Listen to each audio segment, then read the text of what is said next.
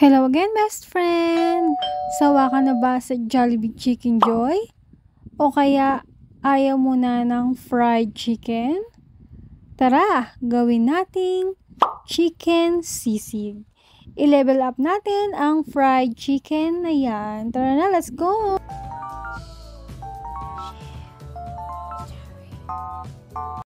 Meron ako ngayong 2-piece crispy chicken joy. Para maiba lamang at maiba din ang recipe, gagawin kong chicken sisig. Napakadali lamang ng mga ingredients at available ito sa inyong mga kusina.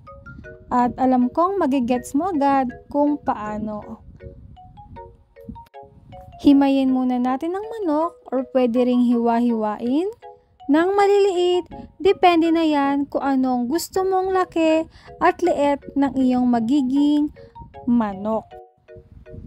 Kung meron kang leftover na fried chicken, galing sa handaan, galing sa ulam kagabi, o kaninang umaga, pwede mo na rin gawing chicken sisig.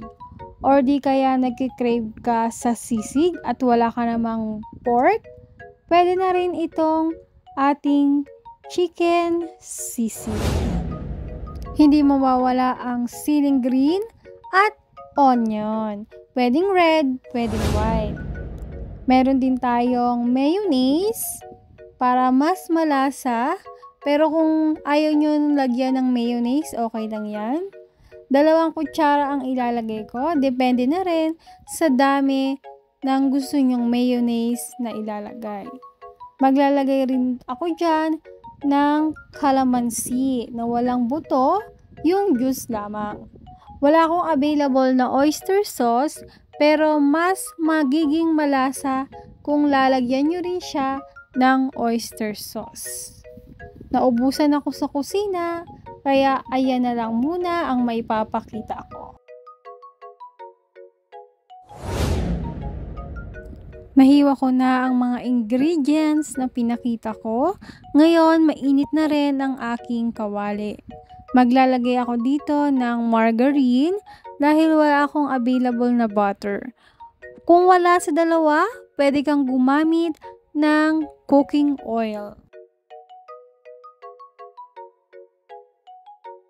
Isunod na nating igisa ang hiniwa nating white onion at ilagay na rin natin ang ating sili. Gisa-gisahin lamang natin hanggang sa medyo maluto yung dalawang yan. Kapag translucent na ang ating onion, pwede natin ilagay ang ating Jollibee Chicken Joy. Ganyang laki lamang ang gusto ko, hindi yung masyadong maliit. Super sarap ang magiging kakalabasan nito dahil malasa at crispy ang ating Jollibee Chicken Joy. Tapos, pinalevel up pa natin, gagawin natin siyang sisig. Siyempre, ang sisig maanghang kaya mas lalong gaganahang kumain. Lutuin pa natin at gisahin pa natin ng at least 2 minutes para mas kumapit ang lasa ng bawang at ng siling green sa ating manok. Maya-maya, pwede na to at ilalagay na rin natin ang tinimpla natin na mayonnaise. Ito, pwede na. I-plating na natin para makakain na tayo. Ito na ang ating crispy Jollibee sisig at itatoppings ko na dyan ang ginawa kong mayonnaise. Mas malasa mga best friend ha kung meron kayong available na oyster sauce na ihahalo nyo dyan sa inyong mayonnaise.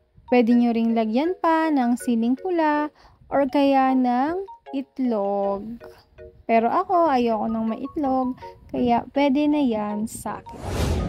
Finished product ng ating pina-level up na Jollibee Chicken Joy na ginawa nating crispy chicken sisig. Pag ganito ang ulam, taob ang kaldero. Kaya itry mo na best friend. Thank you for watching. Bye!